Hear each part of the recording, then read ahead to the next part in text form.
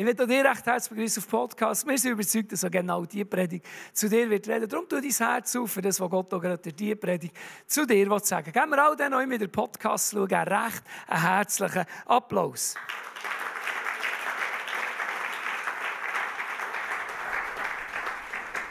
Wenn du mal in der Nähe bist, es würde, mich, würde uns extrem freuen, dich auch mal hier im Saal zu begrüßen. Oder vielleicht hast du mal Zeit, dich bei einem Livestream einzuschalten und mal eine ganze Celebration zu erleben, auch dich durch einen Worship oder auch durch eine Kollektansage oder durch eine Begrüßung zu ermutigen. Wir wollen dich sowieso immer wieder unter der Woche ermutigen, wenn du unseren YouTube-Channel noch nicht abonniert hast oder schon lange nicht bist, schauen, geh doch mal wieder vorbei. Wir haben Predigten drauf, Begrüßungen drauf, Songs drauf, äh, Coffee Talks drauf und viel anderes, wo dir helfen soll, dran zu bleiben mit unserem Gott, auch gerade unter der Woche, die immer wieder zu inspirieren, dass du kannst vorwärts kommen in deinem Glauben. Über das Thema, das ich heute Morgen reden ist, wir sind umgeben von der Größe von unserem Gott im Himmel. Wir alle erleben Zeiten in unserem Leben, wo es nicht rund läuft. Zeiten, wo wir Fragen haben. Zeiten, wo wir anstehen. Zeiten, wo wir, obwohl wir alles richtig machen oder das machen, wo wir das Gefühl haben, wo Gott uns aufs Herz hat gelegt, es trotzdem nicht scheint, vorwärts zu gehen. Wir stehen einfach an. Und irgendwie sind wir wie umgeben von all diesen Nöten, Problemen und Fragen und Ängsten. Dann kann es gut sein, dass wir zu uns selber sagen, ich werde nie mehr aus dieser Not rauskommen. Ich werde nie mehr die Probleme bewältigen. Ich bin wie umzingelt von all dem Negativen. Ich bin umzingelt von dem Hoffnungslosen. Ich bin umzingelt von Nöten und Problemen. Wenn wir im Glauben schauen oder auch über den Glauben reden, dann sehen wir, dass es ganz normal ist. Es gehört dazu, dass wir Probleme haben. Es gehört auch dazu, dass wir in Herausforderungen stehen. Wir lesen nie in der Bibel, dass Gott uns ein Leben versprochen hat, wo wir einfach von Sagen zu Sagen gehen können. Es immer rund wird laufen, wir nie mehr Fragen haben, nie mehr Probleme haben, nie mehr Herausforderungen haben und nie mehr mit Nöten in unserem Leben konfrontiert werden. Aber die Frage ist, wie gehen wir um damit? Oder anders gesagt, wir haben eine Hoffnung, die grösser ist als nur gerade irgendwo einen Weg zu finden in unserer Not, für dass wir irgendwo wieder ein bisschen Licht sehen können. Sondern Gott verspricht uns in der Bibel, dass er uns umgibt, trotz der Not, trotz der Ängste und trotz der Herausforderungen, mit seiner Größe und mit seiner Kraft, die grösser und stärker ist. Wir lesen in der Bibel, dass Gott das letzte Wort wird haben. Nicht unsere Umstände, nicht die Welt, in der wir drinnen leben, nicht all unsere Ängste unsere Fragen, sondern Gott wird das letzte Wort haben, immer und immer wieder, und es wird ein gutes Wort sein. Dass Gott das letzte Wort wird haben und wie das Gott ihn beschützt hat, da lesen wir auch in einer Geschichte aus der Bibel, nämlich die Geschichte vom Diener von Elisa. Der Elisa war ein Prophet im Alten Testament, im ersten Teil von, von, von der Bibel, im ersten Buch der Bibel, im ersten Teil. Und er hat, äh, der Elisa ganz, ganz viel bewegt für Gott. Er hat Wunder da, er hat Menschen geheilt, er hat auch vorausgesagt, was wird kommen und wird passieren. Und an dem haben nicht immer alle Freude gehabt.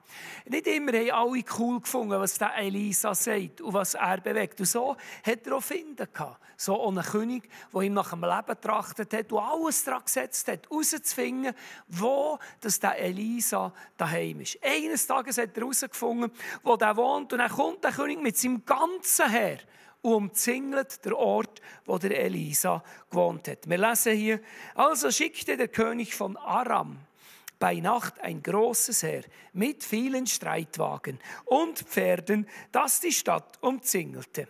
Als der Diener des Propheten am nächsten Morgen aufstand und aus dem Haus trat, war die Stadt umgeben von Truppen, Pferden und Streitwagen.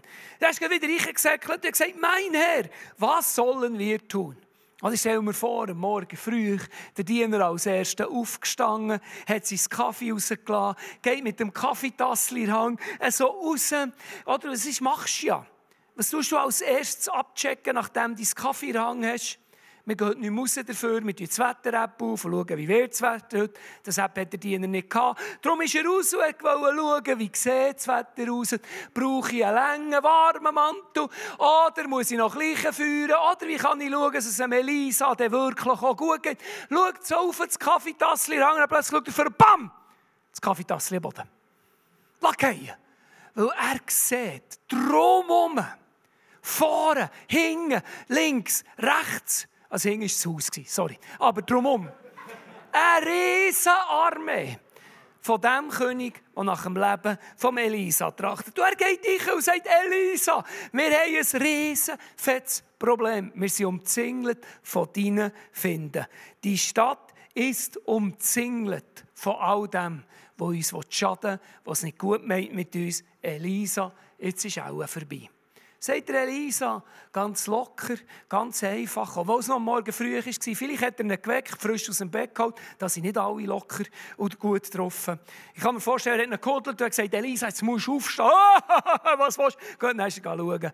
Und er sagt er ganz einfach zu ihm, hab keine Angst, mein Diener. Denn es sind mehr auf unserer Seite als auf ihrer. Und er betete, Herr, öffne ihm die Augen und lass ihn sehen. Da öffnete der Herr dem Diener die Augen und als er aufblickte, sah er, ganz spannend, dass das Bergland um Elisa herum voll feuriger Pferde und Streitwagen war. Also der kommt raus mit dem Elisa. Der Elisa sagt, Herr, tu ihm die Augen auf. Und er tut der Diener wieder die Augen, also er hat ja die Augen schon offen gehabt. Aber es sind die geistlichen Augen, die wir manchmal schon zu haben in unserem Leben. Die geistlichen Augen, die nicht sehen, was Gott ihm tut. Die geistlichen Augen, die der Glauben verloren haben. Unsere geistlichen Augen, die manchmal blind sind und wir lassen uns nur noch von Realität blenden und wir sehen nur noch, was da ist. Wir sehen die Presse, die uns sagt, wie die Welt wird zu Boden gehen. Wir sehen auch die Umstände, die nicht gut laufen in dieser Welt. Und wir vergessen dabei so schnell, es eigentlich einen Gott gibt der für uns ist. Dass es einen Gott gibt, der in der Bibel sagt, er wird das letzte Wort haben. Und es wird ein gutes Wort sein, auch wenn Himmel und Erde werden vergehen. Sein Wort wird bleiben bestehen. Wir haben einen Gott, der grösser und stärker ist als alles, was gegen uns scheint zu sein. Und genau diese Augen hat Gott dem Diener von Elisa aufgetan. Und plötzlich sieht er ein Riesenheer, das das Heer vom Find von Elisa wie umzingelt hat. Und spannend ist, wir lesen beim Heer, wo der Elisa umzingelt hat, dass es die ganze Stadt umzingelt hat. Jetzt aber kommt Gott ins Spiel. Und Gott ist viel krasser. Wir lesen nämlich, dass das Bergland, nicht nur die Städtchen, das ganze Bergland, könnte ich sagen, das ganze Emmital, egal von wo du kommst, kommst du aus dem Ahrental, das ist das ganze Ahrental. Kommst du aus Bern, das ist nicht nur die Stadt Bern, sondern die ganze Region Bern. Wir können sagen, der ganze Kanton Bern. Einfach alles dass das ganze Bergland um Elisa herum voll feuriger Pferde und Streitwagen war. Also nicht nur die Stadt, sondern noch viel grösser drumherum ist die Macht und die Kraft von Gott. Und als ich diese Geschichte gelesen habe, ist mir etwas bewusst worden, was ich lange so nicht gecheckt habe. Mir ist wie bewusst worden, dass Gottes Größe und seine Macht uns umgibt, egal was uns umgibt. Gott ist grösser und umgibt eigentlich alles. Wenn ich das schnell eine Zeichnung probiere weiterzugeben, ist noch recht kompliziert, das einfach so zu erklären. Wir haben hier uns. Es bist du, ein Mann oder eine Frau.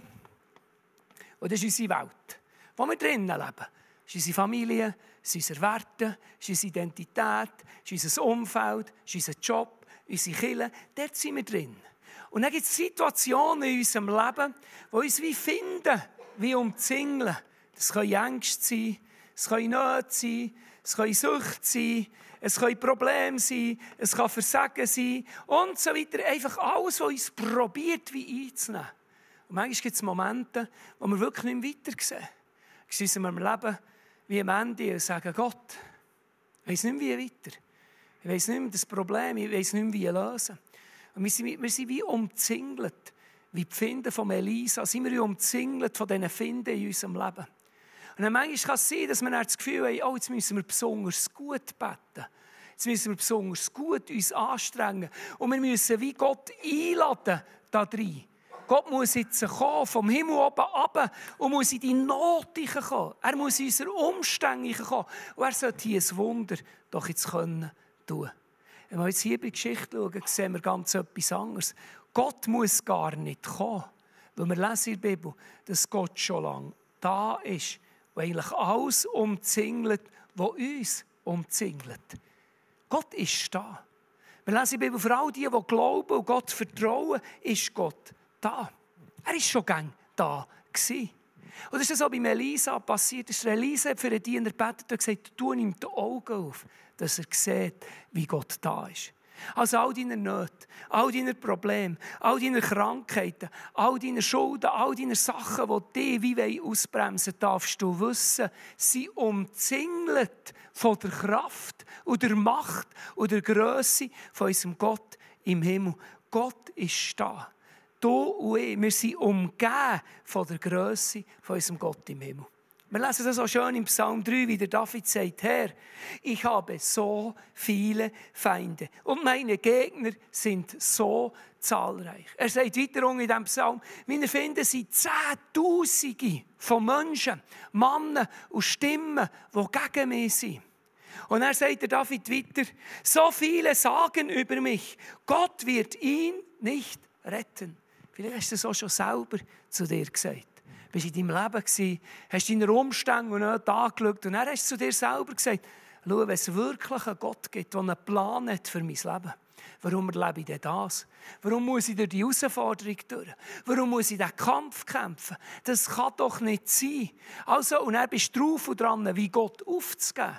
Vielleicht sagen dir Stimmen in deinen Gedanken oder in deinem Umfeld. Schau, wenn doch Gott da wäre, dann würdest du doch das nicht erleben. Schau, Gott wird dich nicht mehr retten. Gott hat dich vergessen. Gott ist gar nicht da.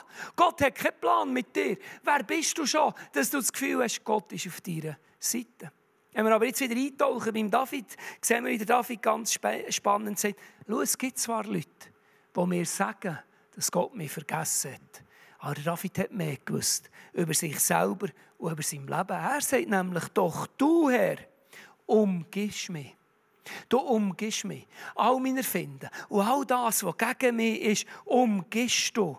Du bist mein Schutz, du bist meine Ehre und du wirst mich wieder aufrichten. Der David hat das Geheimnis böcket. Er hat verstanden, dass Gott da ist. Und alles, was ihn umgibt, all die Menschen, die gegen ihn sind, ist von Gottes Liebe, von Gottes Kraft, von Gottes Schutz, von Gottes Bewahrung und von Gottes Größe umgeben. Darum möchte ich dich heute ermutigen, was wir mit unseren Augen sehen und warnen, ist nicht immer alles. Wenn wir wieder anfangen mit dem Glauben schauen, mit den geistlichen Augen anfangen schauen, dann sehen wir, es gibt noch etwas viel Größeres. Ein viel grösseres Bild. Nämlich wir haben Gott an unserer Seite, der uns wird und will umgeben mit seinem Schutz. Er wird uns schützen, er wird uns bewahren. Nicht, weil wir alles richtig gemacht haben, nicht, weil wir probiert haben, unser Leben einzuholen, sondern weil wir geglaubt haben, dass er da ist. Weil er schon da ist. Weil er uns umgibt. Weil er uns schützt. Und weil er immer wieder unser Bestes will und wird suchen. Ich persönlich zurückschaue auf mein Leben auch schon so oft erleben, wie Gott mich geschützt hat, wie Gott mich bewahrt hat. Zum Beispiel, als wir frisch geheiratet haben, haben wir ein wunderschönes Auto gehabt. Peugeot 206 Quicksilver Edition, grau, wunderschön. Ich hatte so Freude. Gehabt. Und der Peugeot ist auch so gut gefahren. Und die anderen und wir haben wirklich Freude gehabt, an diesem Auto noch keine Kinder Ich bin viel Auto gefahren. Nein, nein. Aber äh, ich weiss noch, ich bin mal auf Thun gegangen, von Thun heimgefahren. Und vielleicht hast du das auch schon erlebt. Oder du fährst und hast einen vor dir, der fährt im 80er 75, im 50er 45. Und irgendwann verlierst du die Nerven, oder? Und dann habe ich gedacht, als wir durch Biglen durchgefahren sind, kommst du doch bei Biglen raus und jetzt hat es dort so ein Högerli. Habt ihr das auch schon erlebt? Da kannst du mit viel Gas so ein bisschen drüber fliegen. Das ist lustig mit Kindern drin und so. Aber es kann das Auto kaputt machen. Gut, das Högerli, ganz wichtig, hat es dann noch nicht gegeben. Ich habe manchmal das Gefühl, wegen mir dort. Gut. Und es war dann auch noch schneller. Gewesen.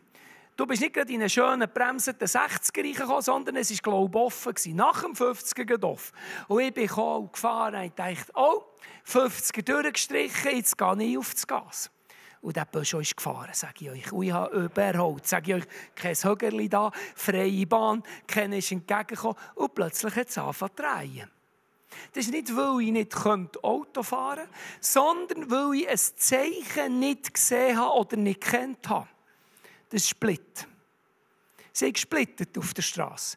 Und irgendwie ein bisschen schnell überholt habe und auch ein bisschen schnell habe ich wieder, bin ich ins Schleudern gekommen und dann hat es den Karren einmal so überstellt. Also eine streit und dann auf dem Kopf gelandet.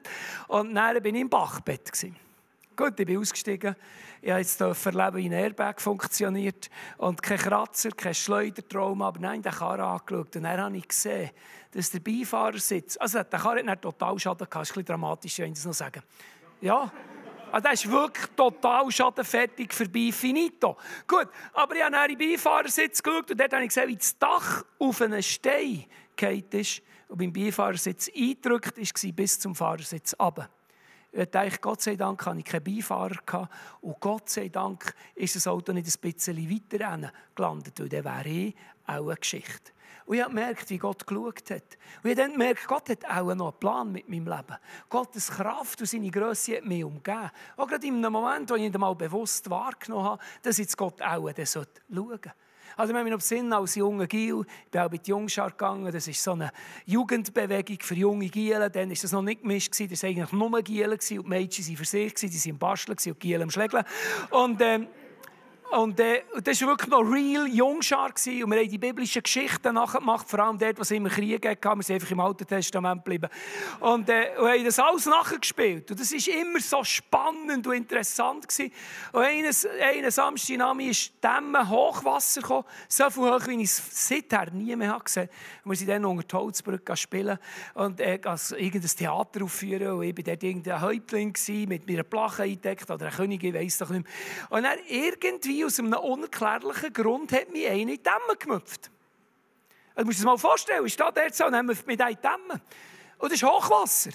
Und aus ganz einem unerklärlichen Grund hat mein Jungscharleiter schnell reagiert. Also schon nur, das ist ja ein Wunder, du musst ganz schnell reagieren, dass du mich noch rausziehen kannst. Und er ist so auf einen Stein gestanden, hat mich rausziehen aber er ist auf gestanden, der eigentlich gar nicht der zu sein.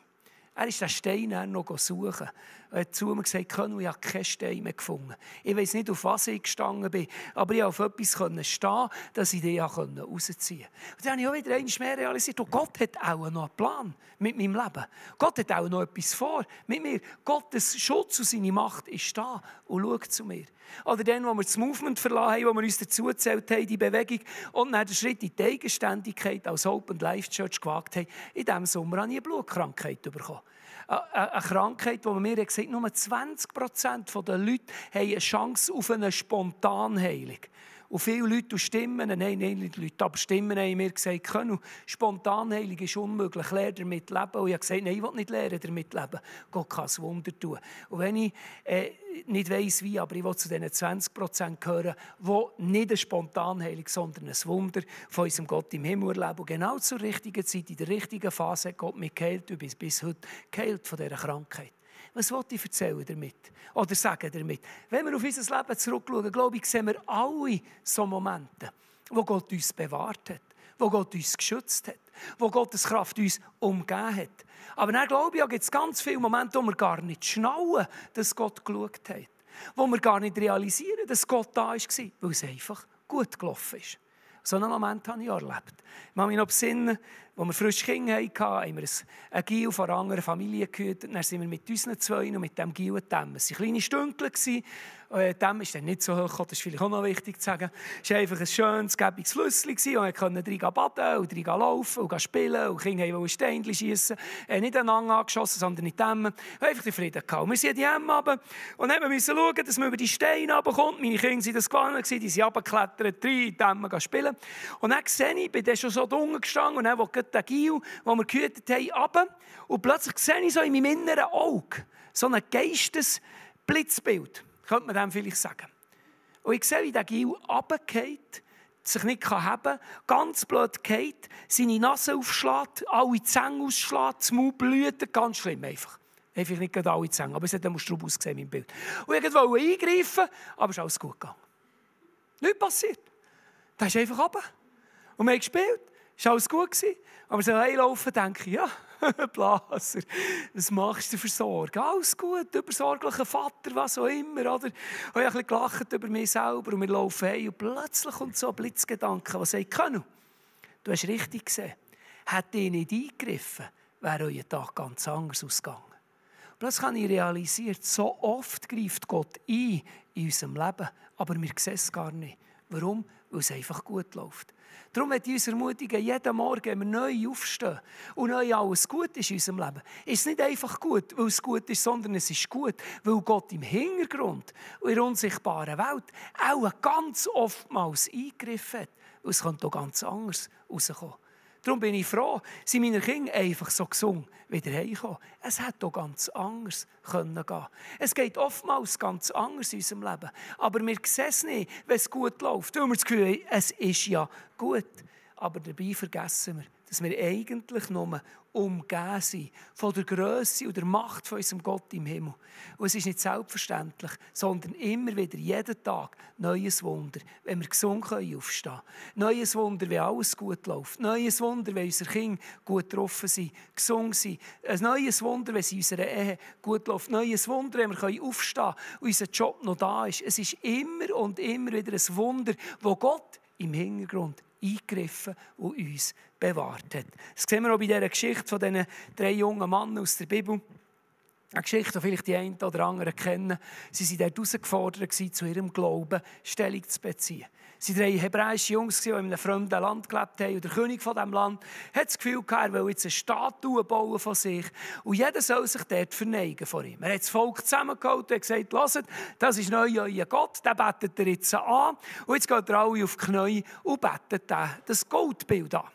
Die drei Jungs haben gesagt, nein, wir beten nur einen Gott an. Das ist unser Gott im Himmel, der die Erde geschaffen hat, der uns in seiner Hang hat. Und obwohl alle auf Knie sind, sind die drei bleiben stehen. Der König hat natürlich nicht Freude gehabt, ist zu diesen drei her und hat gesagt, lasst es euch verneigen, sonst, wenn nicht, geht ihr in den Feuerofen, den ich jetzt schon angeführt habe.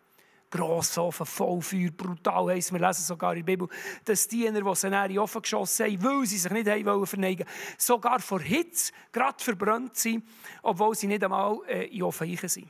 Gut, sie haben sich, wie gesagt, nicht verneigen Die Konsequenz war, sie sind in den Feuerofen geschossen worden. Dort im Feuerofen innen verbrennen sie nicht, stattdessen passiert etwas Interessantes. Wir lesen hier die drei Männer aber, Schadrach, Meschach und Abednego fielen gefesselt, wie sie waren, in die Flammen des Feuerofens. Plötzlich sprang, das war der König, Nebukadnezar erschrocken auf und fragte seine Ratgeber, haben wir nicht eben drei Männer gefesselt und ins Feuer werfen lassen? Und die sagen, ja natürlich, o König. Aber seht doch, hat der Nebukadnezar gesagt, dort sehe ich vier Männer, ungefesselt, die im Feuer umhergehen. Und sie sind völlig unversehrt. Und der vierte sieht aus wie ein göttliches Wesen. Ganz ein interessantes Detail hat die Geschichte. Wir lesen nämlich, der König lässt die drei Männer ins Feuer werfen. Drei gehen Im, vier, äh, Im Feuer sind vier. Und wie Menge kommt wieder raus? Wieder drei. Wir lesen nie in der Bibel, dass die drei im Feuer innen wo sie gerettet sind worden, wo sie bewahrt sind worden, wo sie nicht verbrannt sind worden, realisiert und gemerkt haben, dass ein Vierter neben steht. Ich kann mir vorstellen, sie sind in das Feuer geschossen worden, stehen dort, schauen ihre Fessel und sagen, oh, verbrannt. Dann schauen sie sich weiter an und sonst ist nichts verbrannt. Kein Härchen auf ihrem Kopf, lesen wir in der Bibel, ist verbrannt. Nicht die Kleider, nichts. Sie stehen einfach da und denken nur so, wieso verbrennen wir jetzt nicht? Ja, eigentlich sollst du verbrennen. Sie haben erlebt, wie die Diener, die sich geschossen haben, auf der Stelle verbrannt sind. Aber sie sind nicht verbrannt. Dann kommen sie wieder raus. Und dann sagt der König, das war ein Vierter. Das muss ein Gott sein, der euch beschützt und bewahrt hat.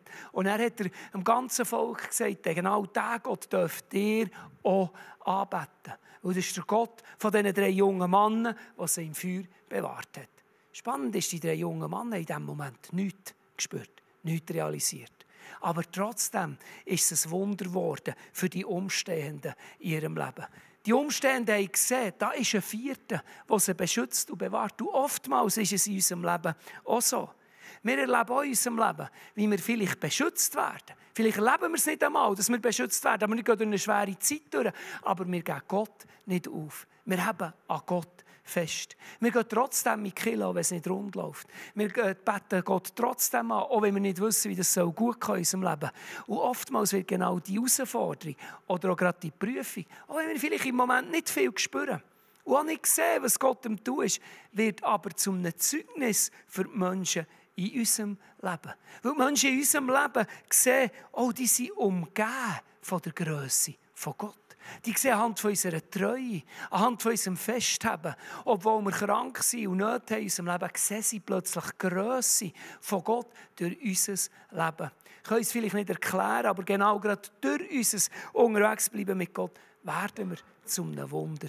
Und dann kommen wir aus dieser Herausforderung raus. Und dann sehen wir, wie Gott da war, wie Gott uns getragen hat, wie Gott uns begleitet hat. Darum, auch wenn Menschen versuchen, dich auszubremsen, wenn Menschen dir sagen, das kommt nicht gut, gib gescheiter auf, denk daran, du bist umgeben von der Größe von Gott. Und diesen Gott gebe ich nicht auf. An diesem Gott habe ich fest. Weil genau das Festhaben an meinem Gott wird mich schlussendlich weiterführen. Und das wird mich schlussendlich zum nächsten Segen führen. Und das wird schlussendlich auch für die Menschen zum einem Wunder werden, die mich beobachten, wenn ich trotz der Herausforderungen treu bleibe. So ist es einer Frau gegangen, eine Geschichte, die ich vor kurzem gelesen habe. Eine junge Frau hat spät abends ihr Auto in einem Parkhaus parkiert, hat heim wollen. Sie steigt aus dem Auto raus und sieht, sie ist ganz allein in diesem grossen Parkhaus. Als ich bisschen weiterlaufe, sieht sie, wie drei Männer auf sie zukommen. Je näher die Männer kommen, realisiert sie, die Männer haben nichts Gutes vor. Die wollen nicht helfen, die wollen nicht nur an ihr vorbeilaufen. Die haben ganz viele schlechte Absichten. Die Männer kommen näher und näher und sie erstarrt vor Angst, weil sie weiss, ich bin allein. Und ich weiss auch nicht, wie ich aus diesem Problem rauskommen soll. Und weil sie nicht mehr anders weiss, als zu beten, betet sie. Fleht Gott um Hilfe an. Bittet Gott um seinen Schutz. Die Männer kommen näher und näher und sie sehen, wie sie sich auf sie zubewegen. Und plötzlich, als die Männer so kommen, bleiben sie plötzlich einfach stehen. Sie schauen die Frau an und gehen langsam wieder hinter sie zurück. Als sie genug weit weg sind von der Frau, säckeln sie davon. Einer von diesen Männern konnte sie dann festnehmen und der hat dann Folgendes erzählt. Er hat gesagt, als wir vor dieser Frau gestanden sind, auf sie wollten zugehen, haben wir plötzlich hinter dieser Frau einen grossen, mächtigen, muskulösen Mann gesehen. In der einen Hand hatte er ein Schwert, in der anderen Hand ein Schild. Und der Mann hat uns mit seinen Augen so krass angeschaut, dass wir nicht mehr anders haben können, als einfach langsam zurückgehen, in der Hoffnung, dass er uns nicht nachkommt. Und als wir weit genug weg waren, sind wir davon gesäckelt. Die Frau hat in diesem Moment nichts gespürt. Sie hat nur die Mann angeschaut, die sie angreifen und sie gleich nicht angegriffen haben. Plötzlich erstarrt sie und einfach zurückgegangen sind. Und das dürfen wir mitnehmen in unserem Leben. Diese Gewissheit und diesen Glauben dürfen wir mitnehmen. Gott umgibt uns. Gottes Engel schützen uns. Und Gott sucht immer wieder unser Bestes. Und ich denke, wir haben alle schon erlebt, wie Gottes Engel, Gottes Gnade, Gottes Gunst, Gottes Kraft uns umgeben hat. Und wir haben es vielleicht nicht einmal im Moment wahrgenommen. Warum? Weil es einfach gut ist rausgekommen. Wir haben gar nicht gemerkt, wie Gott im Hintergrund eingegriffen hat, wie Gott Wunder hat da. Und wir dürfen wissen, wenn wir im Feuer stehen und nicht mehr wie wissen, wie weiter, dürfen wir auch dann wissen, Gott ist da. Gott wird uns schützen und Gott wird schlussendlich immer wieder unser Bestes suchen. Warum? Der David sagt es so schön. Er sagt, als es mir schlecht ging, rief ich zum Herrn. Wie die Frau hat er zu Gott gerufen. Er hörte mich und befreite mich aus aller Not. Dann lassen wir der Engel des Herrn lässt sich bei denen nieder, die in Ehrfurcht vor Gott leben. Er umgibt sie mit seinem Schutz. Er rettet sie. Er fahrt es selbst und sieht mit eigenen Augen, dass der Herr gütig ist, glücklich zu preisen, wer bei ihm Zuflucht sucht. Der David sagt so schön, wer in Ehrfurcht vor Gott lebt, bei dem lässt sich die Engel, Gunst und Kraft von Gott wie nieder. Oder anders gesagt, Gott umgibt uns. Nicht, weil wir alles richtig gemacht haben, nicht, weil wir die richtigen Gebete gebetet haben oder alles richtig gelaufen ist in unserem Leben, sondern weil wir Gott Ehrfurcht gezeigt haben. Weil wir Gott angebetet haben, weil wir an Gott glauben, weil wir uns entschieden haben, Gott ein Teil von unserem Leben zu sein. Weil du da bist, Gott priorisiert hast, Livestream eingeschaltet hast oder einen Podcast schaust, darfst du wissen, du hast Gott priorisiert seine Engel und seine Macht umgibt dich, schützt dich und wird immer wieder dein Bestes suchen. Sogar in diesen Momenten ist Gott am Werk, wo du vielleicht nicht im Gespüren und nicht im Wahrnehmen bist. Auch in den Momenten, wo es vielleicht nicht rund läuft, darfst du wissen, hab einfach an Gott fest. Priorisiere den Gott. Lass Gott nicht los. Und du wirst auch dort drin erleben, wie vielleicht gerade diese Prüfung oder auch diese Herausforderung zum Sagen nicht nur für dich kann werden kann, weil gerade Menschen um dich herum, trotzdem, dass du Gott nicht aufgegeben hast, Gott für Anfang sehen. Sie für Anfang Gott erkennen, weil sie durch dein Glauben und durch deine Treue Grösse von unserem Gott durch dein Leben können sehen. Darum, egal wo du bist in deinem Leben, du darfst wissen, Gott umgeht dich, seine Kraft und seine Macht ist da. Jeden Tag von neuem. Darum sagt Gott Danke. Er, der Gott, priorisiert Gott und alles andere wird sich wie von selber lösen. Immer und immer wieder in deinem Leben. Jetzt möchte ich noch beten. Du kannst, du aufstehen dazu. Ich will beten. Dass wir gerade in der nächsten Woche dürfen wissen, schau, ich bin nicht einfach so da und Gott ist vielleicht manchmal da oder nicht. Nein, wir sind umgeben von der Macht und von der Größe von unserem Gott im Himmel. Gott ist da. Er arbeitet im Hintergrund. Und vielleicht sind wir manchmal blind und sehen es nicht. Hat die Ermutigung auch gerade beten für uns, dass wir vielleicht manchmal mehr die geistlichen Augen können sehen können. Können sehen, was Gott im tun ist. Auch wenn wir es im Moment nicht erleben. Wir erleben sie. Aber Gott ist da. Seine Kraft und seine Macht umgibt uns. Jesus, ich danke dir. Danke dir, bist du da. Heute Morgen, in der nächsten Woche, egal wo wir stehen in unserem Leben, dürfen wir spüren und erleben, wie du da bist. Danke dir für all die Momente und Wunder, die du in unserem Leben da hast, die wir können. Wenn wir zurückschauen auf unser Leben, wo wir sehen und entdecken wie du uns geschützt hast. Wie unser Leben so anders laufen können, aber du hast uns bewahrt. Aber ich dir auch heute Morgen gerade für all die Momente danken, was einfach selbstverständlich war. Weil wir gar nicht gesehen haben, wie du uns geholfen hast, weil es einfach gut ist. Ich will dir auch danken für all die Momente, wo es vielleicht hart ist, wo wir herausgefordert sind, an dir festzuhalten, wo es nicht gerade rund läuft oder es nicht einfach ist. Aber ich dir danken, dass wir trotzdem der Glauben immer wieder finden, an dir festzuhalten. Und ist nicht nur das Wunder, das mal wird passieren wird, ein Wunder auch für uns und die Menschen um uns herum kann werden, sondern sogar die Menschen in unserem Alltag, die um uns herum sind. Dank unserer Treue an dir, deine Größe und deine Macht können sehen. Auch wenn es vielleicht im Moment für uns nicht erfahrbar ist, dass du da bist, dürfen wir aber wissen, dass du da bist. Wir dürfen wissen und spüren, dass du uns nach bist. Und darum bitte ich dich, öffne uns hier und da auch wieder die geistlichen Augen, dass wir sehen können, wie du uns umgehst, wie deine Engel da sind, wie deine Kraft da ist, wie deine Gunst vor uns geht und wie du uns umgehst. Ich danke dir, wirst du gerade in der nächsten Woche ein Segen sein für uns. Wirst du uns leiten, wirst du uns begleiten, wirst du vor uns gehen, wirst du uns umgeben mit deiner Liebe und Nähe. Und wirst du uns an den Rücken stützen, gerade in den Momenten, wo wir vielleicht nicht mögen. Aber dass wir dann trotzdem an dir festhalten können. Oder sogar die Entscheidung wieder zum Boden kann werden wo wir dich spüren und dich erleben können. Merci vielmals. Amen. So genial hast du eingeschaltet. Wir wünschen und hoffen, dass auch genau diese Celebration oder Predigt dir hilft, weiterzukommen in deinem Glauben und auch du kannst entdecken, was Gott noch alles parat hat für dich. Und wenn du merkst, dass du noch irgendwo gerne ein Gebet hättest, dann melde dich einfach, wir von Herzen gerne für dich beten. Oder auch wenn du sonst Fragen hast, melde dich bei uns. Wir geben uns das Beste, für auch dir zu helfen, dass du deine Träume kannst entdecken kannst und auch du ein Segen für die Menschen in deinem Umfeld kannst werden. In diesem Sinne, bis gesegnet und hab's gut.